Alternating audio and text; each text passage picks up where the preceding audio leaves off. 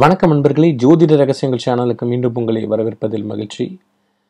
அன்பர்களே இன்றைக்கு பதிவில் நம்ம என்ன பார்க்க போகிறோன்னா யட்சினி அப்படின்ற விஷயத்தை பற்றி முன்னாடி ஒரு வீடியோவில் நம்ம போட்டிருந்தோம்.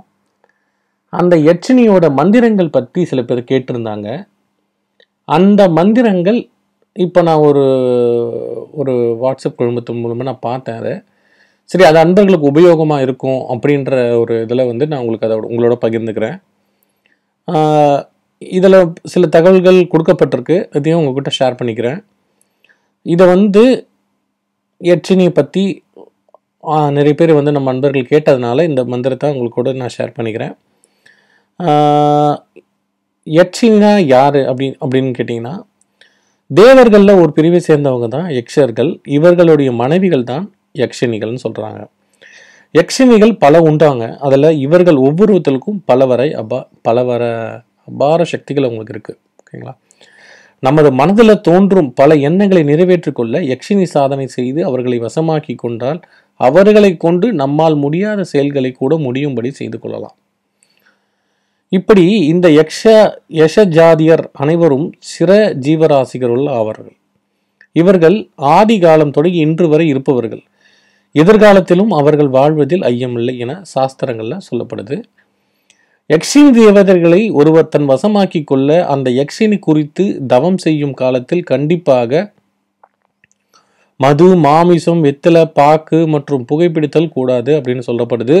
நீங்கள் உட்டு உங்கள் தங்கள் உடலை மற்ற தொடாதபதி வைத்துக் கொள்ளணுமா? இது ரொம்ப முக முக்கிய குறிப்பாக சொல்கிறாங்க யக்ஷினி சித்து செய்து கொள்ள இருபது நேரம் தான் ரொம்ப சிறந்ததான் மனசுத்தியுடன் ஓர் அமைதியான இந்த இடத்தில் தர்பையை போட்டு அதில் ஆசனமிட்டு அமர்ந்து தவம் இருக்கணுமா?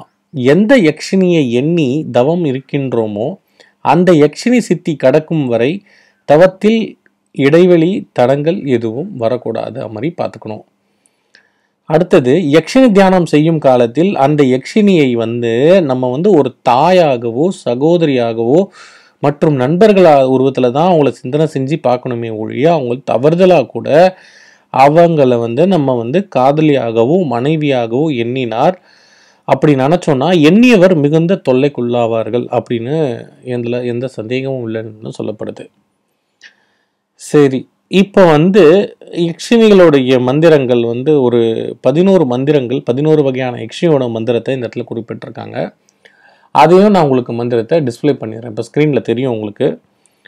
என்னென்ன மந் என்ன யக்ஷினிக்குன்னா இப்போ தனத தனதா ரதி பிரியா யக்ஷினி அவங்களுடைய மூல மந்திரம் என்னன்னா ஓம் ரம் ரம் ஸ்ரீம் ஹ்ரீம் தம் தனதே ரதி பிரியே ஸ்வாஹா.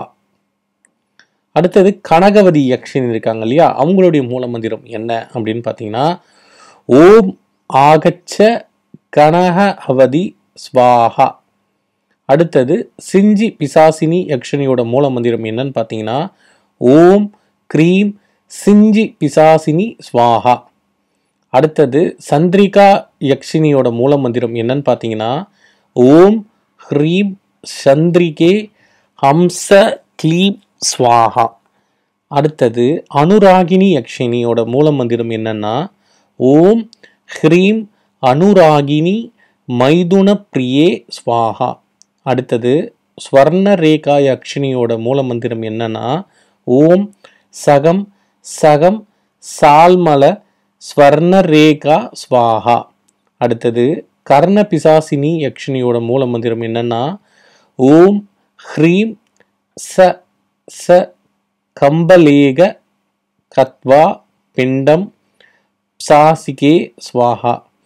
அடுத்தது வடயக்ஷினியோட மூல மந்திரம் என்னன்னு பார்த்தீங்கன்னா ஓம் ஹ்ரீம் ஸ்ரீம் வடபாசினி யசகுல பிரசோதே வடயக்ஷினி ஏஹி ஏஹி ஸ்வாஹா. அடுத்தது பத்மாவதி யக்ஷினியோட மூல மந்திரம் ஓம் நமோ பகவதி தரணிதரா பத்மாவதி ஆகச்ச ஆகச்ச காரியம் குரு குரு எம்பரத்தாயே தம் சீக்கிரமவே தேஹி நா ஆகச் சேத்து பரசுநாதஸ்ய கிருபாஞ்சயாஸ்தமேவே குரு குரு ஸ்வாகா. பண்டார பூர்ணா யக்ஷனியோட மூல மந்திரம் ஓம் ஸ்ரீம் ஹ்ரீம் க்ளீம் பவாமி நம ஸ்வாகா. தம் சீக்கிரமேவ தேஹி நாக ஆகச் சேத்து பரசுநாதஸ்ய கிருபாஞ்சாயாத்மவே குரு குரு குரு ஸ்வாஹா அடுத்தது பண்டார பூர்ண யக்ஷினியோட மூல மந்திரம் ஓம் ஸ்ரீம் ஹ்ரீம் க்ளீம் பவாவி நம ஸ்வாஹா ஸோ இந்த மந்திரங்கள் மூல மந்திரம் இதுதான். இது ரிலேட்டடாக முன்னாடியே நம்ம யக்ஷினி பற்றி நம்ம சேனல்ல ஒரு வீடியோ போட்டிருப்போம். அதை போய் நீங்கள் செக் பண்ணிக்கோங்க. இது மட்டும் இல்லாமல் இன்னும் சில யக்ஷினிகளோட மந்திரத்தை அடுத்த பதிவில் அடுத்து இன்னும் ஒரு சில தினங்களில் நிறைய மந்திரங்கள் உங்களுக்காக கொடுக்க போகிறோம் இந்த யக்ஷினி பற்றி ஆராய்ச்சி பண்ணிகிட்டு இருக்கவங்க யக்ஷினி பற்றி ப இது பண்ணுறவங்களுக்கு இது ரொம்பவும் உபயோகமாக இருக்கும். கண்டிப்பாக அவங்களுக்கு நீங்கள் கேட்குற விஷயங்களை அவங்க தெரிஞ்சு தருவாங்கன்றதுல எந்த ஒரு விதமான சந்தேகமும் இல்லை. ஆனால் அதுக்கு முறையான பயிற்சியோட முறையான அந்த சொல்லப்பட்ட தியானத்தோட முறையாக நீங்கள் வந்து இந்த விஷயத்தை வந்து பண்ணி செஞ்சு கற்றுக்கோங்க அப்போ தான் உங்களுக்கு வந்து அது நல்ல பலன் கொடுக்கும். இது ரிலேட்டடாக வேறு ஏதாச்சும் இன்ஃபர்மேஷன் தெரிஞ்சால் கண்டிப்பாக நான் உங்கள்கிட்ட ஷேர் பண்ணிக்கிறேன். வணக்கம். ஆனால் மந்திரங்கள் அடுத்த பதிவில் நான் உங்களுக்கு இன்னும் சில மந்திரங்களை வந்து நான் ஷேர் பண்ணுறேன் ஏன்னா நிறைய பேர் வந்து மந்திரங்கள் கொடுங்க மந்திரங்கள் கொடுங்கன்னு தான் நிறைய பேர் கேட்டிருக்காங்க.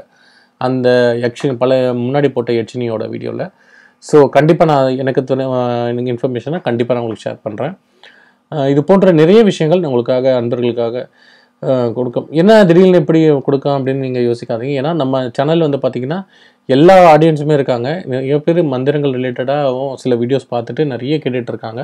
அவங்களுக்காக ஸ்பெஷலாக தான் இந்த பதிவை நான் வந்து பதிவு செய்கிறேன் ஸோ கண்டிப்பாக அது அவங்களுக்கு யூஸ்ஃபுல்லாக இருக்கும். சரிங்களா? நன்றி நண்பர்களே. இது போன்ற நிறைய குறிப்புகள் பதிவுகள் அடுத்தடுத்து நம்ம சேனல் வர காத்துக்கிட்டு இருக்கு. மறக்காமல் நம்ம சேனலை சப்ஸ்கிரைப் பண்ணுங்கள் நன்றி வணக்கம்.